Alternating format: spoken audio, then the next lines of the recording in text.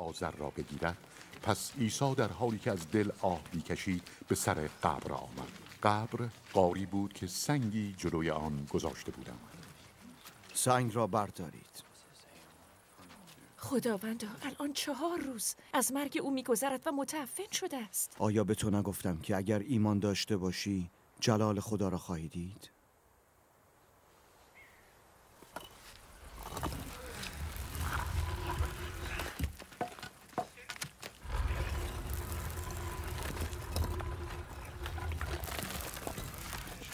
سنگ را از جلوی قبر برداشتند.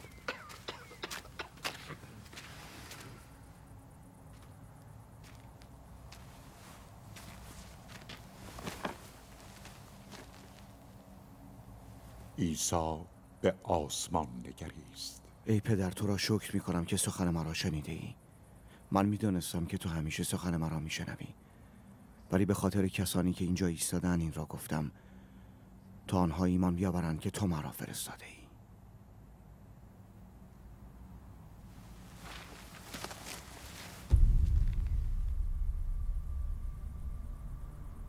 پس از این سخنان عیسی با صدای بلند فریاد زد. ای لازر بیرون بیا.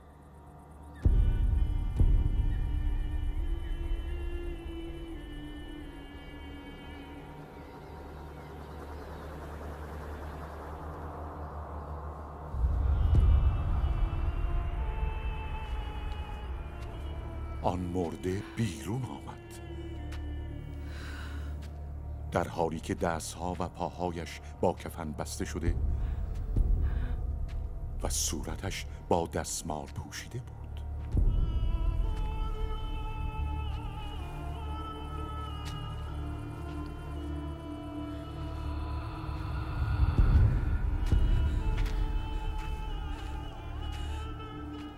او را باز کنید. و بگذارید برود. بسیاری از یهودیانی که برای دیدن مریم آمده بودند وقتی آنچه را عیسی انجام داد مشاهده کردند به او ایمان آوردند.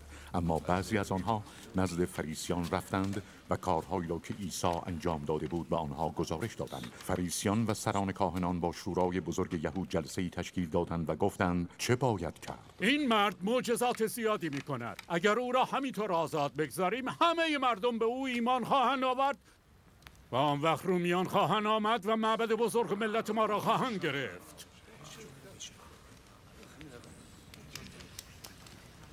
یکی از آنها یعنی قیافا که در آن سال کاهن اعظم بود گفت شما اصلا چیزی نمی‌دانید. شما متوجه نیستید که لازم است یه نفر به خاطر قوم بمیرد به جای آنکه ملت ما به کلی نابود شود. او این سخن را از خود نگفت بلکه چون در آن سال کاهن اعظم بود پیشگویی کرد که عیسی می باید در راه قوم یهود بمیرد و نه تنها در راه آن قوم بلکه فرزندان خدا هم که پراکنده هستند به صورت یک بدن واحد به هم بپیوندند. از آن روز به بعد آنها توطعه قتل او را چیدند. بعد از آن عیسی دیگر به طور علنی در بین یهودیان رفت آمد نمی کرد بلکه از آنجا به ناحیه‌ای نزدیک بیابان به شهری به نام افرایم رفت و با شاگردان خود در آنجا ماند. عید فسح یهودیان نزدیک بود و عده زیادی از آبادی های اطراف به اورشلیم آمدند تا قبل از عید خود را تطهیر نمایند. آنها در جستجوی عیسی بودند و در معبد بزرگ به یکدیگر می‌گفتند قطعا او به جشن نخواهد آمد. نظر شما چیست؟ اما سران کاهنان و فریسیان دستور داده بودند که هر که بداند عیسی کجاست اطلاع دهد تا او را دستگیر نمایند. شش روز قبل از عید فسح عیسی به بیت انیا محل زندگی ایل آزر رفت. یعنی همان کسی که او را پس از مردن زنده کرده بود.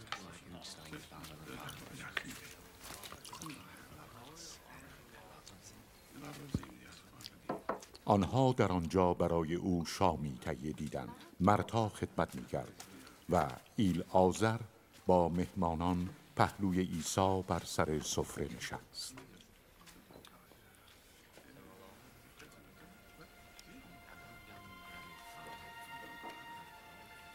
آنگاه مریم پیمانه از عطر بسیار گرانبها که روغن سنبل خالص بود آورد و بر پاهای عیسی ریخت و با گیسوان خود آنها را خوش کرد به طوری که آن خانه از بوی عطر پر شد. در این وقت یهودای اسخریوتی پسر شمعون که یکی از هواریون عیسی بود و به زودی او را تسلیم می کرد گفت آخر چرا این عطر؟ به سیصد سکه نقره فروخته نشد.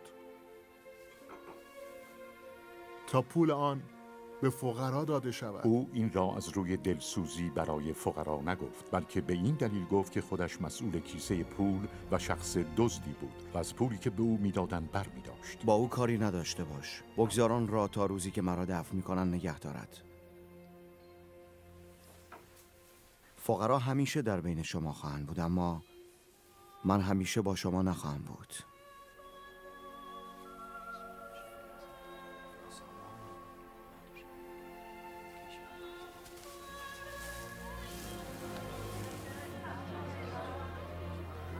عده زیادی از یهودیان شنیدند که عیسی در آنجاست. پس آمدند تا نه تنها عیسی بلکه ایل آذر را هم که زنده کرده بود ببینند. بنابراین سران کاهنان تصمیم گرفتند که ایل آذر را نیز بکشند. زیرا او باعث شده بود بسیاری از یهودیان از رهبران خود روی گردان شده به عیسی ایمان آورند.